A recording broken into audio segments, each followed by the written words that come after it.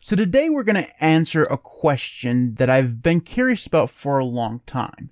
And that question is, what happens if you delete the root directory of your Linux system? Now the question is, why would you ever do this? And the answer to the que- that question is, you shouldn't. You, sh- you never should. So we're going to start off this entire adventure with stating this warning. Don't do this. Okay? Don't do it by accident. Don't do it on purpose because theoretically, we all know exactly what happens if you do the rm-rf slash command. It deletes your root directory and your system goes bye-bye. All your data gone. Theoretically, that's exactly what it should do. And that's kind of what I'm expecting to happen, but I don't know for sure. Is there a warning saying, hey, jackass, don't do this? Is there some kind of process? What happens first? Does the system just automatically turn off? Do you get kicked out to a TTY bef- because it has deleted certain parts of the desktop environment? What happens? I'm really curious. We're going to do it on camera today. But I'm going to reiterate the, the warning that I just gave you. Don't do this on a production system. I'm not going to do that. I'm going to do it in a virtual machine. We're going to see how it works. The reason why I was curious about this is because everyone in the Linux community has probably seen that troll that always goes through the forums and the discords and all this stuff and says, hey, new person, do this command. It's really cool. It'll help your system go faster. And then it's rm-rf slash. And the new person doesn't know what that means. So they give it a try. And then all their data gone. Don't be that troll, obviously, first of all.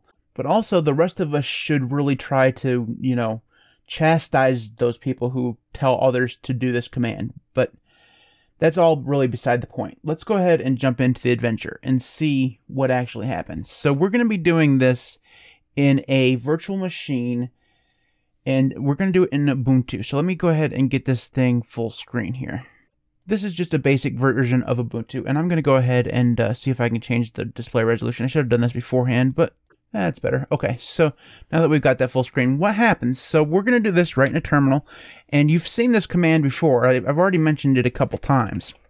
But the command is sudo, we're going to need sudo, I'm pretty sure, rm-rf slash. So what happens if we do this?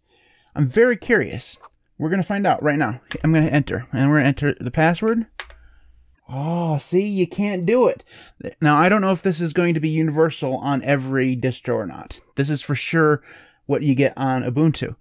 I'm actually really happy about this because obviously you don't want this to actually happen, you know, by accident. You know, if you do a rm-rf and then let's just say you're trying to remove the downloads folder. I don't know why you would use sudo for this. You shouldn't, I don't think. I can't think of a single reason why you'd want to. But let's just say you did. But let's just say while you before you got to typing the downloads part, you got here and then you accidentally press enter. You know, that's a good thing that there's a failsafe. Okay. So let's go ahead and see what happens if you override it. So I'm not sure actually where the flag is supposed to go. Probably here. Dash dash no preserve root. Okay. So here we go. It's removing everything. It's still actually running. So it's removing some stuff before. And there goes all the icons. And even then, there's still stuff there that it wouldn't remove. So eh, there's a whole bunch here stuff here that it just won't remove. And we're actually, we still have an X environment, surprisingly. Uh, I, I was really surprised that it kept a lot of X stuff. I'm assuming it's because it's in memory, maybe? But even then, it's saying operation not permitted. So even if you have sudo, I wonder if you were uh, in the root. I wonder. We're going to try this again. So we're going to go into the root. The command is not, not found. yeah. so there's definitely stuff that's missing. You can't actually go into the root account. Okay. I'm sure there's probably another way of doing that. Let, let's, as a final a thing. Uh, you notice it deleted the cursors. There's not actually a cursor here. All the icons are gone except for this one, which you can't actually click on. Uh, you click on trash and the, the system crashes. Uh, so obviously it breaks. That's the point of what happens. But we still have this black screen and trying to actually let me get out of full screen here and let's send uh send the uh machine to sleep.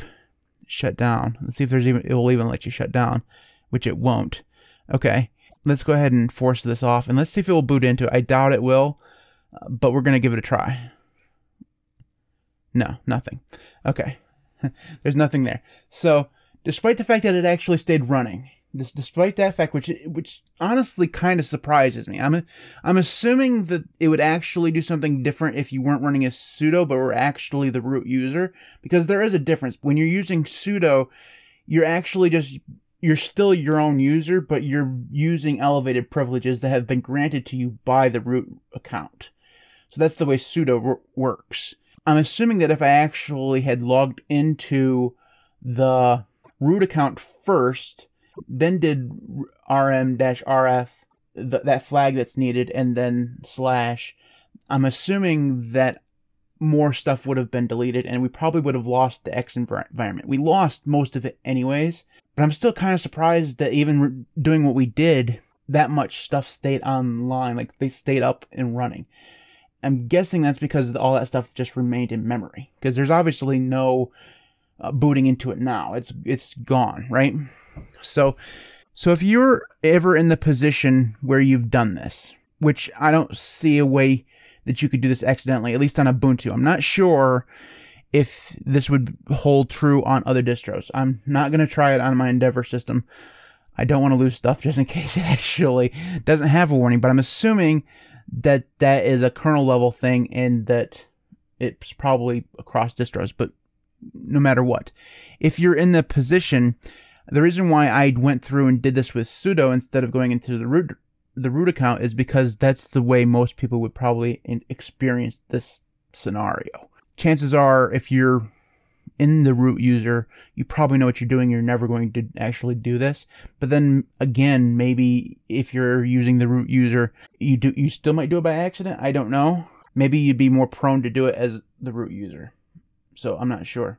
I guess that's a question for another day. So that is what happens if you RMRF your system. Surprisingly, it's exactly what we thought it was. Your system breaks.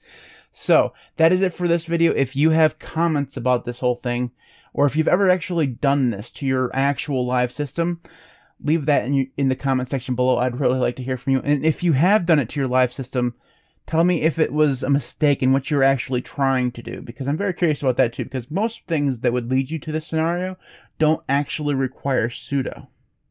So even if there wasn't that failsafe in there, usually if you were doing this, you were probably trying to delete something else.